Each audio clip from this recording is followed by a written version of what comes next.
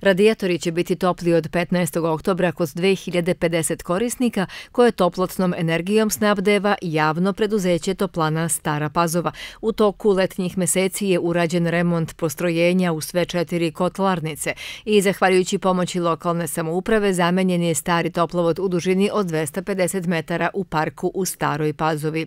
Početkom meseca su izvršene hladne i tople probe. Hladna proba izvršena je još 1. oktobra, sistem je bio napunjen vodom, ispitan na pritisak, a od 5. do 10. oktobra izvršene su i tople probe, tako da sistem je u potpunosti spreman za ovaj, narodnu eksploataciju u narodnoj igrenoj sezoni. Naše stručne službe prate meteorološke prilike, tako da, obzirom da od 15. oktobra već kreće sniženje temperature na dnevnom nivou, mi naše kotlanice palimo već 15. oktobra ujutru, kako je i propisano odlukom o distribuciji toplotne energije. S obzirom na povećanje cene gasa prošle prošle godine Toplana od ove sezone povećava cene svojih usluga za 10,3 odsto.